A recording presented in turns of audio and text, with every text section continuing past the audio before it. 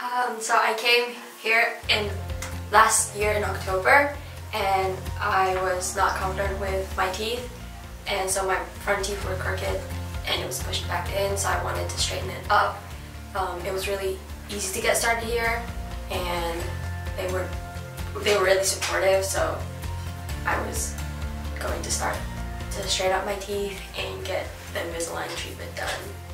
And I'm really happy with the results and I'm glad that I was able to do the treatment here.